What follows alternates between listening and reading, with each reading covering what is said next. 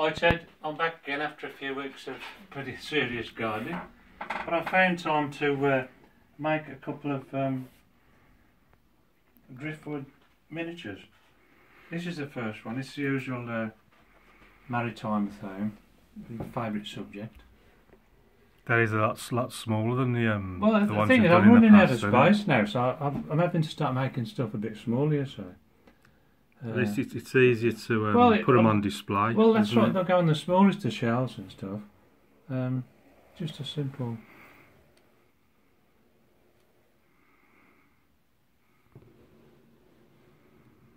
What inspired this piece? I'll just look anything to do with the seaside, to be honest. Um, probably because we live just about as far as you can get from the sea in, in the Midlands here. Having said that, it's still only about 90 miles, isn't it? But when we were kids in the 50s, we went to the seaside once a year on, Me too, anyway. on a steam train. So, uh, yeah, they've always had that bit of magic for me. Yeah. Anything to do with the seaside. Just you know, just a double, double pivot, simple movement, Simple that, mechanism, yeah. which is always It's the a best. nice effect though, isn't it? Well, yeah, I've never made anything this small before. And like I say, you can just put it anywhere. It takes up no Yeah. space, but it's colourful. The only problem with working on anything this small is you can't really get much detail in it. I suppose the smaller they are, the um, the more because- difficult it is then. Yeah, yeah. As you can see, how small it is and how large my hands are. Yeah. It's it you know it's an added challenge really. It's a nice little But, seed, uh, isn't well, it's a nice idea. It? Yeah. But the one, the, the one you made next was uh, Well, uh, it's a bit bigger, isn't it? Well, the thing is, um, whenever I make anything like this, halfway through, I can generally think of different ways of doing it or better. So I've often made two of uh, you know a lot of the stuff I've made. Yeah. So, although it's a bit bigger than that one, it's still a lot smaller than a lot of the things I do make. Yeah, this one's definitely got a bit more to it, hasn't Yeah, yeah. But being that little bit bigger, I can put a bit more detail in it. You know, it actually does more. It's quite colourful. Can you see the? Um... Oh, turn it the wrong way. I'm looking at it back to front. Does it only go round? Can you only turn it the one way then? No, it's- it's just normal crank lock.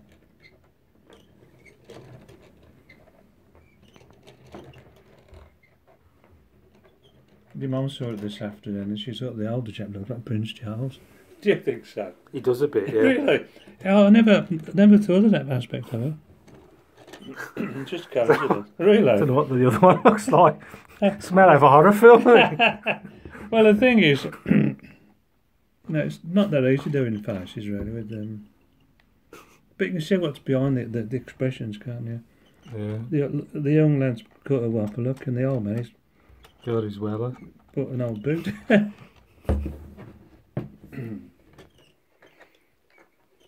Bit more detail on the edge. Do you like hold on the uh, the uh, The free enterprise. yeah. That's a bit of walnut that is. So that's a nice piece of wood, isn't it? Yeah, it's uh, varnished. Just polyurethane varnished. Now, if we took a closer look at the lighthouse.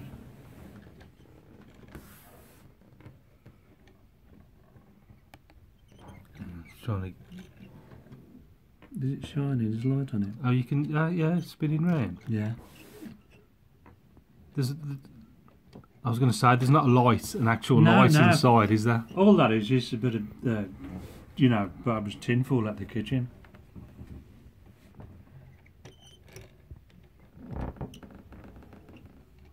Nice effect, isn't it? It is, yeah.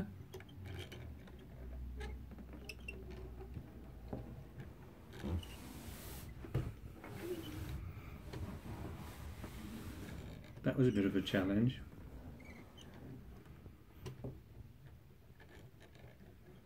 The water looks quite um, more things in the waves on the cliffs. Like that. It's nice, isn't it? Yeah, it's uh, it's just fun. I like I like the diorama part of anything like this. You know, it's. I must be looking at your, some of your painting techniques, your videos.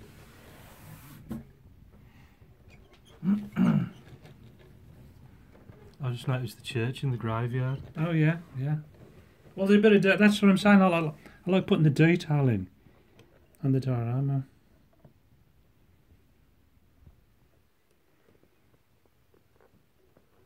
I was tempted to try and put a bit of writing on the tombstones, but I just can't work that small.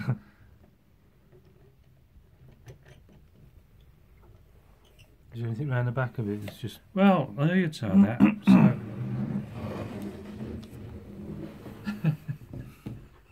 Not a lot, is No. there? Now, what you should have said was, can you take the lid off? has it got a lid? Yeah. That's the secret. Can you see it? Spot the lid. Is it the the grassy?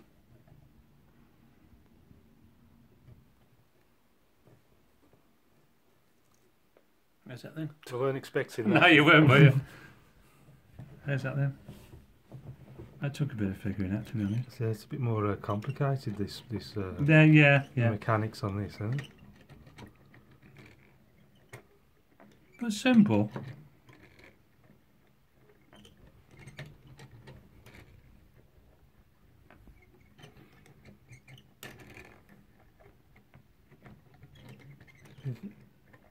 Have you used that style before, like using like like barrels? Well, I don't remember seeing that. they're what you call eccentric cams. I've, I've used something similar Hmm. on some of the other um, automata, yeah. They're just eccentric cams, you know. There's different ways you can do it. And you just That's- have to experiment. Well, that's it, you see. I mean, experiment with, like, see, that's um, lead. That's a counterbalance weight, just to bring it back in position for the next revolution. See? And it's just, I suppose, just trial and error, and it trying to A lot of trolling, get it have all you? right. I spend as much time thinking about it when, when, you, when you've actually figured out how to do it. Making it's the easy part to me. Yeah. So I suppose, uh, yeah, it's like just the the, the planning But, um, elements. That's just a bit of uh, two mil aluminium. All I do, I like I, I get that to shape, then I cover it with I get some cotton cloth and a mixture of my usual polyfiller with um, builder's polyfiller with white PVA. Coat both coat both sides of the uh, cloth, and just fill out the corners I couldn't manage with the the aluminium, and then just um, basically use the technique I told you last time. I would paint it with um, acrylic paints and then pour on uh, the grass scatter. Yeah. Yeah, to get quite a nice effect. Yeah, it looks quite And authentic. all, see, all of this is it's, it's all driftwood. Everything's made of driftwood. It's just mainly driftwood, yeah.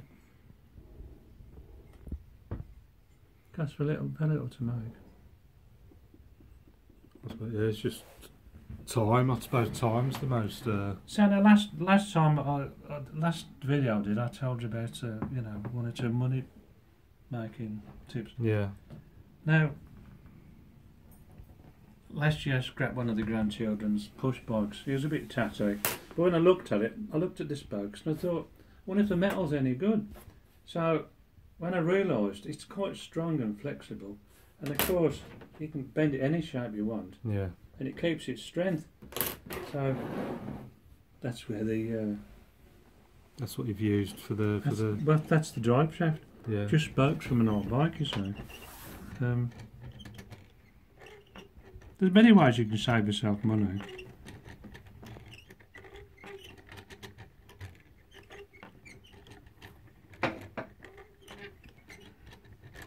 Very good.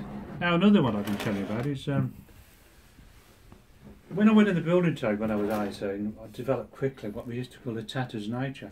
And that wasn't painful.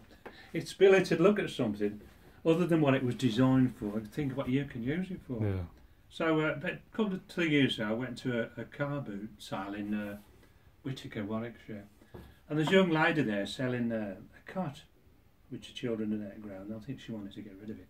She only wanted a pound for it. But when I looked at it, I didn't see a cut.